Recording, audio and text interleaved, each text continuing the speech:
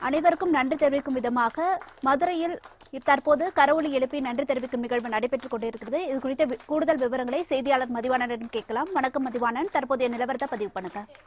வணக்கம் அருணையா கொர்னியா என்னும் கொடிய வைரஸ் மனிதர்களை தாக்கி வருகிற சூழ்நிலையில் பாரதத்தினுடைய பிரதமர் நரேந்திர மோடி அவர்கள் கடந்த இரண்டு நாட்களுக்கு முன்பாக சுய கட்டுப்பாடு என்பது அனைவருக்கும் இருக்க வேண்டும். அதனுடைய அடிப்படையில் அனைவரும் தொடர்ந்து வருகிற ஞாயிற்றுக்கிழமை மிக தெரியாத காலை ஏழு மணியிலிருந்து ஒன்பது மணி வரை தொடர்ந்து இருந்திட வேண்டும் என கூறியிருந்தார். அதனுடைய அடிப்படையில் மதுரை மாவட்டத்தை எடுத்துக்கொண்டுமானால் கிட்டத்தட்ட அதிகாலை ஏழு மணியிலிருந்து மிகச்சரியாத அனைவரும் அந்த தொடர்ந்து அதனை கைப்பற்றி வருகின்றனர். இதனுடைய அடிப்படையில் தான் மாலை ஐந்து மணிக்கு இதற்கு பெரிதும் பாதிப்பட்டு கொண்டிருக்கின்ற மருத்துவர்கள் மற்றும் காவல்துறையினர் மற்றும் தூய்மை தொழிலாளர்கள் உட்பட அனைவருக்கும் நன்றிகளை தெரிவிக்கும் மனமாக இரு கைகளையும் தட்டி அவர்கள் அவர்களுக்கு வாழ்த்துக்களை தெரிவித்ததோடு தங்களது நன்றிகளையும் தெரிவித்து வருகின்றனர். அதே போல தொடர்ந்து மதுரை மாநகரில் இருக்கக்கூடிய பெரும்பாலான இடங்களில் அடுக்குமாடி குடியிருப்புகளில் இருக்கக்கூடிய பொதுமக்கள் அனைவரும் ஆங்காங்கே நின்று கொண்டு மற்றும் கீழே இருக்கக்கூடிய அனைவரும் நின்று கொண்டு தரங்க தரரோசங்களை தொடர்ந்து எழுப்பி கிட்டத்தட்ட இருபது நிமிடங்களுக்கும் மேலாத அந்த தரரோசங்களை தொடர்ந்து எழுப்பி மருத்துவர்கள் காவலர்கள் துப்புரவு பணியாளர்கள் ஆகியோர் அனைவருக்கும் தங்களது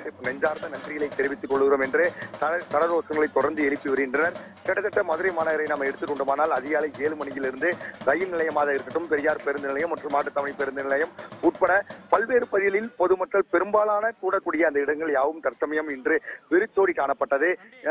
பொதுமக்கள் அனைவரும் முழுமையான தங்களது நூறு சதவீத ஒத்துழைப்புகளை கொடுத்திருக்கிறார்கள் என்று சொன்னால் மிதையாதாது அதே போல மதுரை மாநகரில் இருக்கக்கூடிய ரயில் நிலையம் உட்பட விமான நிலையங்கள் உட்பட அனைத்துமே விரிச்சோடி காணப்பட்டது. கடந்த இரண்டு நாட்களுக்கு முன்பாக விமான நிலையத்தில் மதுரை விமான நிலையத்துக்கு வருகை தந்த கிட்டத்தட்ட நூத்தி நாற்பத்தி நான்கு விமான பயணிகளை அதாவது அயல்நாடுகளில் இருந்து அவர்கள் மதுரை நோக்கி வந்திருந்தார்கள். அவர்களுக்கு அருகாமையில் இருக்கக்கூடிய மருத்துவ முகாமில் தொடர்ந்து அவர்களுக்கு உடல் பரிசோதனை என்பது நடைபெற்று வருகிறது.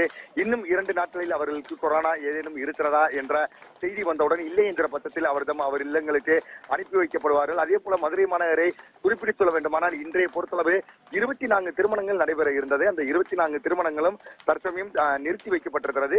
தேதி குறிப்பிடாமல் ஒத்தி வைக்கப்பட்டிருக்கிறது. அதே சமயம் ஆஹ், மதுரை மாவட்டம் ஆறுபடை விடுதலான திருப்பூர் முருகன் கோயிலில் இருபத்தி ஒரு திருமணங்கள் இன்று நடைபெற்றது. அந்த திருமணங்கள் கூட மிக தெரியாத அதிகாலை ஐந்து மணிக்கு ஆரம்பிக்கப்பட்டு மிக தெரியாத ஏழு மணிக்கு எல்லாம் நிறைவடைந்தது. அதன் பின் உறவினர்கள் ஒன்றுமின் ஒன்றாக தங்களது இல்லங்களுக்கு முழுமையாக சென்று விட்டனர். பொதுமக்கள் அனைவரும் அதாவது தமிழக அரசுக்கும் மத்திய அரசுக்கும் தங்களது முழுமையான ஒத்துழைப்பை கொடுத்திருக்கின்றனர். அதுவும் தமிழக அரசின் சார்பாக ஒன்பது மணியில் இருந்த வரை தற்சமயம் அதிகாலை ஐந்து மணி வரை இது தொடரும் என்று சொல்லியிருக்கிற பட்சத்திலும் கூட அதற்கு பொதுமக்கள் தங்களது ஒத்துழைப்பை தருவதற்கு முழுவதும் தயாராக இருந்து கொண்டிருக்கின்ற கொரோனா என்னும் கொடூர வைரஸை விரட்டி அடிப்பதற்கு மத்திய அரசு மாநில அரசுகளுக்கு நாங்கள் முழுமையான ஒத்துழைப்பை தருவதற்கு தயாராக இருக்கிறோம் என பொதுமக்கள் கூறும் வரையில் தற்சமயம் கரகோஷங்களை எழுப்பி தங்களது நன்றி கடன்களை மருத்துவர்கள் மற்றும் அனைவருக்கும் தெரிவித்து வருகின்றனர். வாருணியா.